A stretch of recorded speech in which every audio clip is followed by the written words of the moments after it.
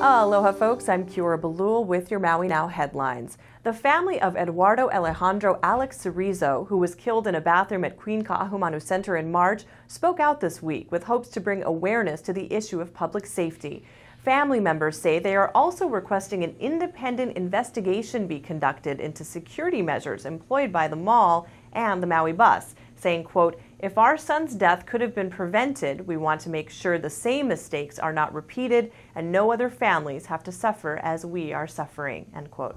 Maui Tacos is expanding nationwide with six new store openings scheduled for 2018 and 12 new stores slated for 2019. The six new stores this year will open in Kahului, Monroe, Louisiana, Pearl City, Oahu, Charleston, South Carolina, Reno, Nevada, and Las Vegas, Nevada. The 10 new stores in 2019 will include a Hilo location as well, and franchise opportunities remain available. A 70 year old Australian woman was medically evacuated from a cruise ship off Maui en route to San Diego this week after she was experiencing severe abdominal pains.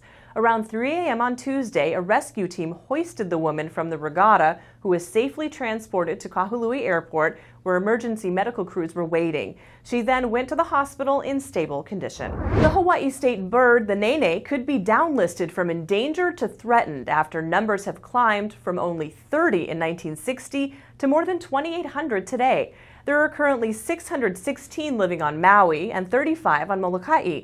The nene retains protection as a threatened species based on ongoing threats from non native predators such as mongoose and cats, habitat destruction, and vehicle collisions. Thanks so much for watching Maui Now. Everything Maui, always now.